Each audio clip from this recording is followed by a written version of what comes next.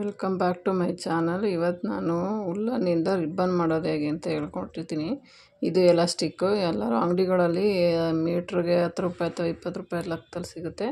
Elastic ತೊಗೊಂಡು ಬಂದು ಈ ಥರ ನಾನು ಸ್ಟಿಚ್ ಮಾಡಿ ಇಟ್ಕೊಂಡಿದ್ದೀನಿ ಮಿಷನ್ ಇದ್ದರೆ ಮಿಷನಲ್ಲೇ ಸ್ಟಿಚ್ ಮಾಡ್ಬೋದು ಇಲ್ಲ ಅಂದರೆ ಕೈಯಲ್ಲೂ ಕೂಡ ಸ್ಟಿಚ್ ಮಾಡಿಕೊಂಡು ಇಟ್ಕೊಳ್ಬೋದು. ಈ ಥರ ಸ್ಟಿಚ್ ಮಾಡಿಕೊಂಡು ರೌಂಡ್ ಶೇಪಲ್ಲಿ ಎಲಾಸ್ಟಿಕ್ನ ಇಟ್ಕೊಂಡಿದ್ದೀನಿ. ಈಗ ಇದಕ್ಕೊಂದು ಉಲ್ಲನನ್ನು ನಾನು ಗಂಟು ಹಾಕ್ಕೊಂಡಿದ್ದೀನಿ ನಿಮಗೆ ಯಾವ ಕಲರ್ ಉಲ್ಲನ್ ಬೇಕೋ ಅದನ್ನು ತಗೊಂಡು ಇದಕ್ಕೆ ಈ ಥರ ಟ್ಯಾಗ್ ಮಾಡಿಕೊಂಡು ಇಟ್ಕೊಳ್ಬೇಕು. ಈ ಥರ ಗಂಟು ಹಾಕಿ ಆದಮೇಲೆ ಇಲ್ಲಿಂದ ನಾವು ಡಬಲ್ ಕ್ರೋಶನ ಮಾಡ್ಕೊಳ್ಬೇಕು. ಈ ಥರ ಉಲ್ಲನ್ ಒಳಗಡೆಯಿಂದ ದಾರ ತಗೊಂಡು.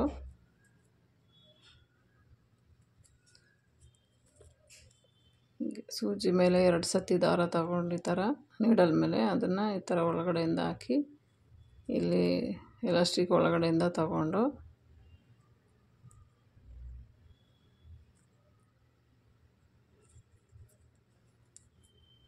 ಎರಡು ಸತಿ ಅಲ್ಲ, ಒಂದೇ ಸತಿ ಡಬಲ್ ಕ್ರೋಶೆ ಮಾಡಿಕೊಂಡ್ರೆ ಸಾಕು.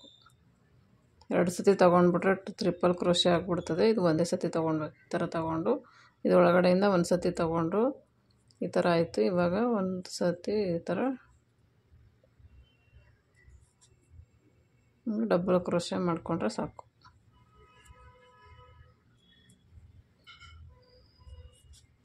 ಸೂಜಿ ಮೇಲೆ ಒಂದು ಸತಿ ನೀಡಲ್ ಥರ ಥ್ರೆಡ್ ತಗೊಂಡು ಇದರೊಳಗಡೆಯಿಂದ ಎಳ್ಕೊಂಡು ಇದೆರಡು ಬಿಟ್ಟು ನೆಕ್ಸ್ಟು ಇದೆರಡು ಬಿಟ್ಟರೆ ಡಬಲ್ ಕ್ರೋಶೆ ಆಯಿತು. ತಗೊಂಡು ಇದೆರಡು ಬಿಟ್ಟು ಇದೆರಡು ಬಿಟ್ಟರೆ ಡಬಲ್ ಕ್ರೋಶೆ ಆಯಿತು. ನೋಡ್ಕೊಂಡು ನಿಧಾನಕ್ಕೆ ನೋಡ್ಕೊಳ್ಳಿ ಅರ್ಥ ಆಗುತ್ತೆ. ಎಲಾಸ್ಟಿಕ್ ಒಳಗಡೆಯಿಂದ ಒಂದು ಸತಿ ತೊಗೊಳ್ಬೇಕು ಈ ಥರ ತೊಗೊಂಡು ಎಲಾಸ್ಟಿಕ್ ಕೆಳಗಡೆಯಿಂದ ಇನ್ನೊಂದು ಸತಿ ತಗೊಂಡು ಇದೆರಡು ಬಿಟ್ಟು ಇದೆರಡು ಬಿಡಬೇಕು.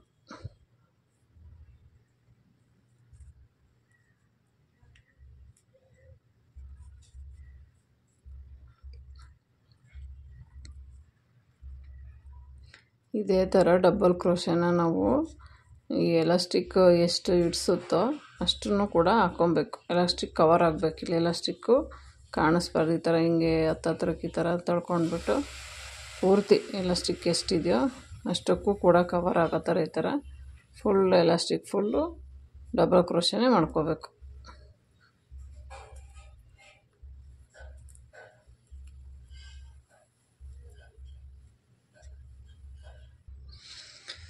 ನೋಡಿ ಈ ಥರ ಫುಲ್ ಎಲಾಸ್ಟಿಕ್ಕು ಕವರ್ ಆಗೋ ತನಕನೂ ಡಬಲ್ ಕ್ರೋಶೆ ಮಾಡ್ಕೊಂಡಿದ್ದೀನಿ.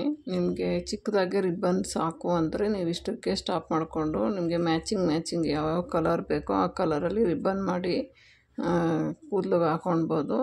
ಇಲ್ಲ, ಇನ್ನೂ ಸ್ವಲ್ಪ ದೊಡ್ಡದಾಗಿ ಬೇಕು ಅಂದರೆ ಇದ್ರ ಮೇಲೆ ನೆಕ್ಸ್ಟ್ ಇನ್ನೊಂದು ಲೈನು ಡಬಲ್ ಕ್ರೋಶೆನೇ ಮಾಡ್ಕೊಂಡು ಬರಬೇಕು. ಈಗ ಇಷ್ಟು ಕವರ್ ಮಾಡಿದ್ದೀನಿ ನೆಕ್ಸ್ಟು ಈ ಲೈನಿಂದ ಕಂಟಿನ್ಯೂ ಮಾಡ್ಬೋದು.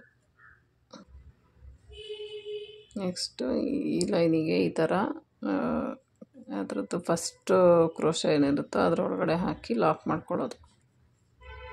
ನೆಕ್ಸ್ಟ್ ಲೈನಿಗೆ ಶಿಫ್ಟ್ ಮಾಡ್ಕೋಬೋದು. ಸಿಂಗಲ್ ಕ್ರೋಶೆ ಹಾಕಿ ಲಾಕ್ ಮಾಡಿಕೊಂಡ್ರೆ ಕವರ್ ಆಯ್ತು ಇವಾಗ ಇದು.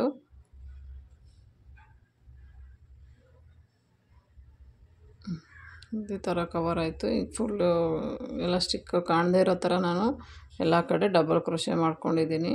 ನೀವು ಬೇಕು ಇಷ್ಟಕ್ಕೆ ಸಾಕು ನನಗೆ ಅಂತ ಅನಿಸಿದರೆ ಇಷ್ಟನ್ನೇ ನಿಲ್ಲಿಸ್ಕೊಂಡು ನಾವು ಯೂಸ್ ಮಾಡ್ಕೊಳ್ಬೋದು. ನೆಕ್ಸ್ಟ್ ಸ್ವಲ್ಪ ದೊಡ್ಡದಾಗಿರಲಿ ಅಂದರೆ ಇದ್ರ ಮೇಲೆ ಇನ್ನೊಂದು ರೌಂಡು ಡಬಲ್ ಕ್ರೋಶನ ಹಾಕ್ಕೊಂಡು ಬರಬೇಕು. ನೋಡಿ, ನಾನು ಇನ್ನೂ ಸ್ವಲ್ಪ ದೊಡ್ಡದಾಗಿರಲಿ ಉಲ್ಲನೋ ರಿಬ್ಬನ್ನು ಅನ್ನೋ ಕಾರಣಕ್ಕೋಸ್ಕರ ನಾನು ನೆಕ್ಸ್ಟ್ ಲೈನ್ ಕಂಟಿನ್ಯೂ ಮಾಡ್ತಾಯಿದ್ದೀನಿ ಇಲ್ಲಿ ಲಾಕ್ ಮಾಡಿದ್ದೆ ಸಿಂಗಲ್ ಕ್ರೋಶೆ ಹಾಕಿ. ಅಲ್ಲಿಂದ ನಾನು ನೆಕ್ಸ್ಟ್ ಲೈನನ್ನು ಈ ಥರ ಕಂಟಿನ್ಯೂ ಮಾಡ್ಕೊಂಡು ಬರ್ತಾಯಿದ್ದೀನಿ ಮತ್ತು ಡಬಲ್ ಕ್ರೋಶೆ ಹಾಕೋದಷ್ಟೇ. ಮೊದಲು ಉಲ್ಲನ್ಗೆ ಹಾಕ್ತಿದ್ವಲ್ಲ, ಅದೇ ಥರ ಇದು ನೆಕ್ಸ್ಟ್ ಲೈನ್ಗೆ ಹಾಕ್ಕೊಂಡು ಹೋಗೋದು. ಸೂಜಿ ಮೇಲೆ ದಾರ ತಗೊಂಡು, ಅದ್ರ ಪಕ್ಕದ ಹೋಲಿಗೆ ಹಾಕ್ಕೊಂಡು ಈ ಥರ ದಾರ ಎತ್ಕೊಂಡು ಕಂಟಿನ್ಯೂ ಮಾಡ್ಕೊಂಡು ಹೋಗೋದು. ಇವಾಗ ಉಲ್ಲನ್ ಸ್ವಲ್ಪ ದೊಡ್ಡದಾಗುತ್ತೆ. ಹಾಕಬೇಕಾದ್ರೆ ಇದಾಗುತ್ತೆ. ಕಾಂಬಿನೇಷನಲ್ಲಿ ಕಲರ್ಸಲ್ಲಿ ಬೇಕು ಅಂದರೆ ಇಲ್ಲಿ ಬಂದಾಗ ನೀವು ಕಲರ್ನ ಚೇಂಜ್ ಮಾಡ್ಕೊಳ್ಬೋದು.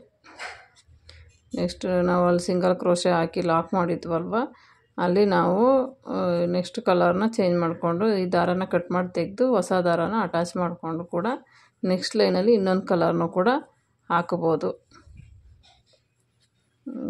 ಎರಡು ಕಲರ್ ಕಾಂಬಿನೇಷನ್ ಆಗುತ್ತೆ. ಯಾವಾಗ ಎರಡು ಡ್ರೆಸ್ಸಿಗೆ ಸ್ಯಾರೀಸ್ಗೆ ಮ್ಯಾಚ್ ಆಗೋ ಥರ ನಮಗೆ ಯಾವ ಕಲರಲ್ಲಿ ಬೇಕೋ ಆ ಕಲರಲ್ಲಿ ಮ್ಯಾಚ್ ಮಾಡ್ಕೊಂಡು ಹಾಕ್ಕೊಂಡು ಹೋಗ್ಬೋದು. ಎರಡು ಕಲರ್ ಬೇಕು ಅಂದರೆ ಸಿಂಗಲ್ ಕಲರ್ ಬೇಕು ಅಂದರೆ ಸಿಂಗಲ್ ಕಲರಲ್ಲೇ ಕೂಡ ನೀವು ಇದನ್ನು ಕಂಟಿನ್ಯೂ ಮಾಡ್ಬೋದು.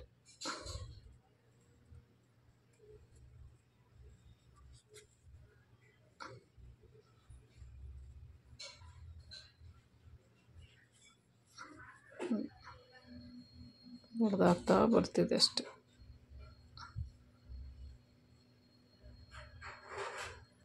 ನೋಡಿ, ಇವಾಗ ನಾನು ಎರಡು ಲೈನನ್ನು ಕೂಡ ಕಂಪ್ಲೀಟ್ ಮಾಡಿದೆ. ಸ್ವಲ್ಪ ರಿಬ್ಬನ್ ದೊಡ್ಡದಾಯಿತು. ಇವಾಗ ನೀವು ಕೂದಲಿಗೆ ಬೇಕು ಅಂದರೆ ನೋಡಿ ಥರ ಹಿಂಗೆ ಹಾಕ್ಕೊಳ್ಬೋದು ಆಯಿತಾ? ಇಷ್ಟು ದೊಡ್ಡದಾಗಿ ಬರುತ್ತೆ. ನೋಡಿ, ಇವಾಗ ನಾನು ಎರಡು ಲೈನ್ ಕಂಪ್ಲೀಟಾಗಿ ನೆಕ್ಸ್ಟ್ ಇದಕ್ಕೆ ಲಾಕ್ ಮಾಡ್ತೀನಿ.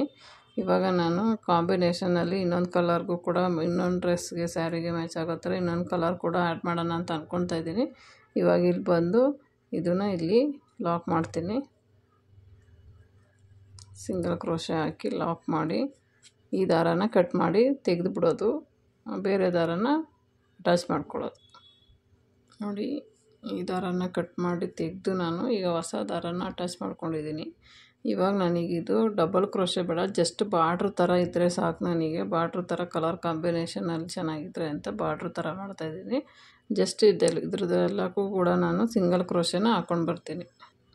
ಸಿಂಗಲ್ ಕ್ರೋಶೆ ಅಂದರೆ ಬೇರೆ ಏನಲ್ಲ. ಇದು ಥ್ರೆಡ್ ಮೇಲೆ ದಾರ ತಗೋತಿದ್ವಲ್ಲ, ದಾರ ಏನು ತಗೋಬಾರ್ದು. ಡೈರೆಕ್ಟ್ ನಾವು ಪಕ್ಕದ ಹೋಲಿಗೆ ಹಾಕಿ ಒಳಗಡೆಯಿಂದ ದಾರ ತೆಗೆದು ಈ ಥರ ಹಾಕೋದು. ಡೈರೆಕ್ಟ್ ಪಕ್ಕದ ಹೋಲಿಗೆ ಹಾಕಬೇಕು, ಈ ಥರ ಹಿಂಗೆ ಹಾಕೋದು. ಇದು ಇದ್ರ ಮೇಲೆ ದಾರ ತಗೋಬಾರ್ದು. ಇದ್ರ ಮೇಲೆ ದಾರ ತಗೊಂಡು ಒಳಗಡೆಯಿಂದ ಹಾಕಿದ್ರೆ ಡಬಲ್ ಕ್ರೋಶೆ ಆಗುತ್ತೆ. ಇದ್ರ ಮೇಲೆ ದಾರ ತಗೊಳ್ದೇ ಡೈರೆಕ್ಟ್ ನಾವು ಇದ್ರ ಪಕ್ಕದಕ್ಕೆ ಈ ಥರ ಹಾಕಿ ಈ ಥರ ಲಾಕ್ ಮಾಡೋದು ಹಿಂಗೆ. ಹಿಂಗೆ ಹಾಕಿದ್ರೆ ಇದು ಎರಡೇ ಎರಡು ಬರುತ್ತೆ. ಎರಡೇ ಎರಡು ಬಂದಾಗ ಒಂದು ಸತಿ ಈ ಥರ ಹಾಕಿದರೆ ಮುಗ್ದೋಗೋದು. ಇದೇ ಸಿಂಗಲ್ ಕ್ರೋಶೆ ಈ ಥರ ಹಿಂಗೆ ಹಾಕಿ ಮುಳ್ಗೋದು ಅಂದರೆ ಮೇಲೆ ದಾರ ತಗೋಬಾರ್ದು. ಸೂಜಿ ಮೇಲೆ ದಾರ ತಗೊಳ್ದೇ ಪಕ್ಕದ ಹೋಲಿಗೆ ಹಾಕಿ ಒಳಗಡೆಯಿಂದ ದಾರ ತಗೊಂಡು ನಾವು ಈ ಥರ ಎರಡು ಆದಮೇಲೆ ಒನ್ ಟು ಒನ್ ಟು ಆದಮೇಲೆ ಇದನ್ನು ಒಳಗಡೆಯಿಂದ ತೆಗೆದು ಲಾಕ್ ಮಾಡಿದರೆ ಆಯ್ತು ಇದು ಸಿಂಗಲ್ ಕ್ರೋಸೆ ಚಿಕ್ಕದಾಗಿ ಬರುತ್ತೆ. ಬಾರ್ಡ್ರ್ ಥರ ಬರುತ್ತೆ. ಸಿಂಗಲ್ ಕ್ರೋಸೆ ಥರ ಮಾಡ್ಕೊಳ್ಬೋದು ನೋಡಿ, ಈ ಕಲರ್ ಮೇಲೆ ಇದು ಜಸ್ಟ್ ಬಾರ್ಡ್ರ್ ಥರ ಬರ್ತಿದೆ ಅಷ್ಟೆ. ಡಬಲ್ ಕ್ರೋಶೆ ಆದರೆ ಸ್ವಲ್ಪ ಹೈಟ್ ಬರ್ತಿತ್ತು, ಇದು ಹೈಟ್ ಇಲ್ಲ, ಜಸ್ಟ್ ಬಾರ್ಡ್ರ್ ಥರ ಇದೆ ಸಿಂಗಲ್ ಕ್ರೋಶೆ ಮಾಡೋದು. ಸೂಜಿ ಮೇಲೆ ದಾರ ತಗೋಬಾರ್ದು, ನೆಕ್ಸ್ಟ್ ಪಕ್ಕದ ಉಳಿಗೆ ಹಾಕಿ ಒಳಗಡೆಯಿಂದ ತಗೊಂಡು ಈ ಥರ ಲಾಕ್ ಮಾಡೋದು. ಒಳಗಡೆಯಿಂದ ತಗೊಳ್ಳೋದು. ಇದು ಲಾಕ್ ಮಾಡೋದು. ಸ್ವಲ್ಪ ಫಾಸ್ಟಾಗಿ ಆಗುತ್ತೆ. ಒಳಗಡೆಯಿಂದ ತಗೊಳ್ಳೋದು ಲಾಕ್ ಮಾಡೋದು.